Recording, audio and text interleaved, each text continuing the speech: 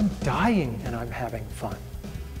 And I'm going to keep having fun every day I have left because there's no other way to play it. Boy, I remember that. That is from Professor Randy Pausch's famous last lecture. He was open and upfront in his final days, sharing the life lessons that he's learned from dying.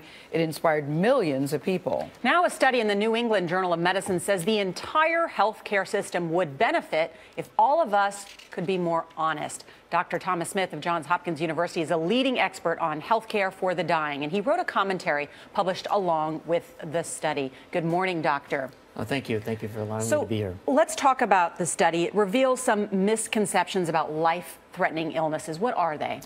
Well, these researchers interviewed almost 1,200 patients who had colorectal cancer or lung cancer, which could not be cured.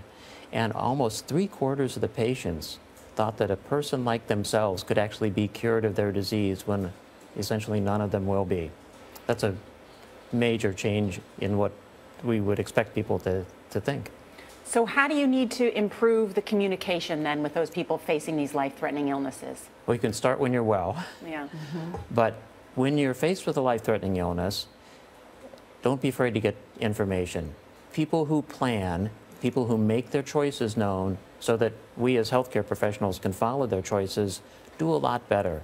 Their families do better. In fact, in one study, where patients got palliative care alongside their usual cancer care. Mm -hmm. Palliative care is open and honest communication, medically appropriate goal setting, careful attention to symptoms.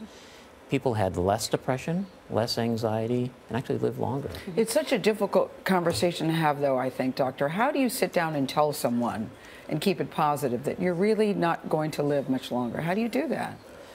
Well, the first thing is to ask permission. We do ask, tell, ask. Mm -hmm. What, what is it that you want to know about your illness? And 90% of patients will look me in the eye and say, Tell me everything, doc. Mm -hmm. I really need to know so that I can plan. A few won't. Then tell people in very understandable terms. None of us know exactly when someone's going to die, but we can say, You really have weeks or months based on people like you. But everybody feels I could be the one that beats it. Exactly. I have a positive attitude. I have, you know, I have faith. What do you say to those people? I say that's wonderful, and we promise not to stand in the way of any miracles. Okay. But we can hope for the best, but we still need to plan for the worst.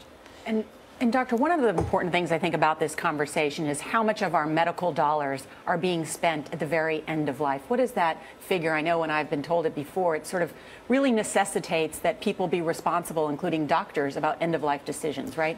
Yes, it is. About 25% of Medicare dollars are spent in the last year of life, and about 9% of, of Medicare dollars are spent in the last month of life this really isn't about saving money so much as honoring people's choices. Mm -hmm. We have to know what people's choices are by having these difficult conversations so that we know what people want. Mm -hmm. Most people really want to focus on being at home.